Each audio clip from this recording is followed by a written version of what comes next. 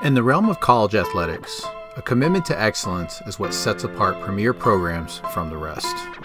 Leading the way in this pursuit is the Ohio State University, an institution known for its unwavering dedication to excellence.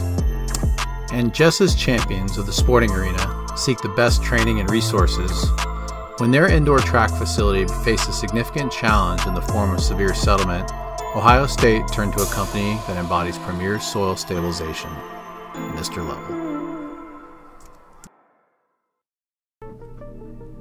Nestled within Ohio State University lies the iconic Fieldhouse, an indoor track and field facility that has been a breeding ground for champions.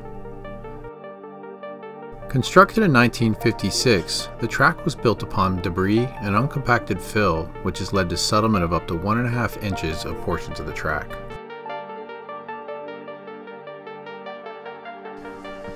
To help Ohio State avoid excavating the track, Mr. Level provided them with an alternative solution called deep soil injection, a process where a chemical grout is injected at multiple depths to increase the load-bearing capacity of the soil. Working with the NCFI Geotechnical Division team, Mr. Level identified a unique approach of using two different polyurethane systems to best meet the project goals.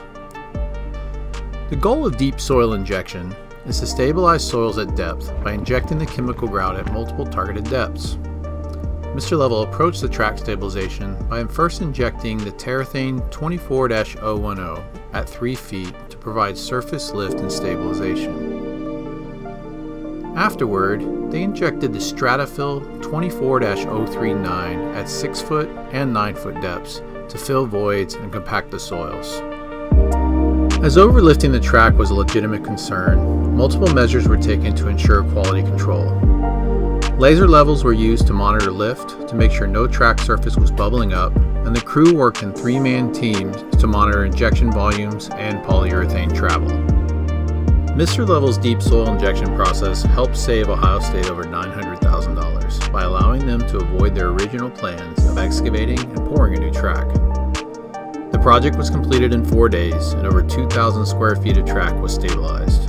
The result was a fully compacted soil base, a pleased customer, and a track that is now on solid ground.